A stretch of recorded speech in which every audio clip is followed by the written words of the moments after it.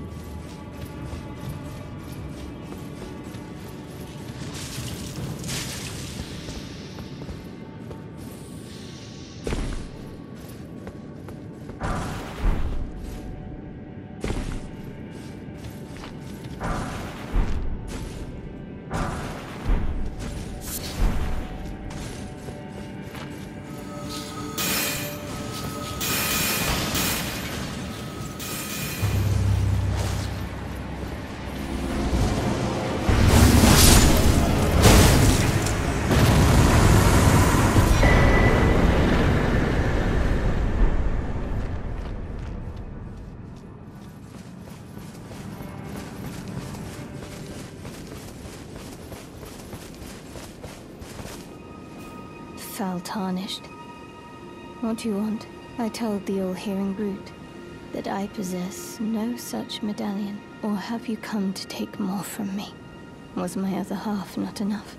Oh. Do you speak true? So old Albus entrusted his medallion to you. Then I've no choice but to trust that this was his dying will. Let's try again. I'm Latenna. An Albinauric, the same as old Albus. My apologies for my coarse words earlier. I presume the worst. Seeing that you're another tarnished like that all-hearing brute, I hope that you will forgive me. Hmm. The medallion's better off in your hands anyway. Would you consider doing me a great service? I must go back. There is something I must do, even if I must say farewell to my wolf Lobo. Will you show me the way? The land of Miquella's Haligtree. If you accept, I would gladly apprise you of the whereabouts of the medallion's of the half. Thank you kindly. They say the other half of the medallion is beyond the Forbidden Lands, north of the Erdtree, in Castle Sol, on the mountain tops of the Giants, accessible by the Grand Lift of Rold. Then I suppose it's time. Farewell, Lobo. my faithful wolf. My better half. I will go with the Tarnished, so that our journey will not have been in vain. Forgive me, Lobo.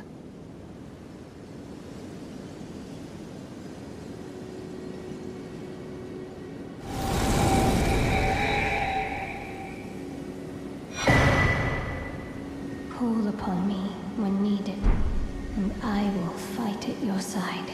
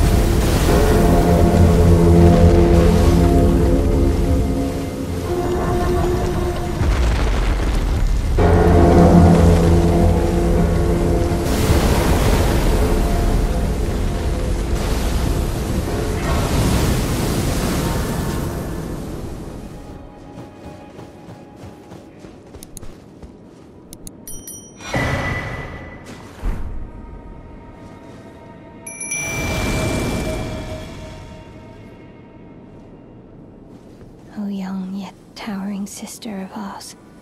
Let the birthing droplet in and create life. For us. For all the Albinaurics.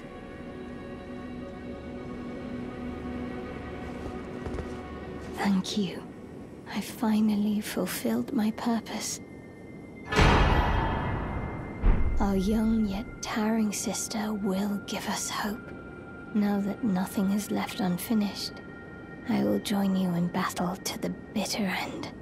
And when the fighting is done, then you may lay me to rest. Beside Lobo, my dear wolf.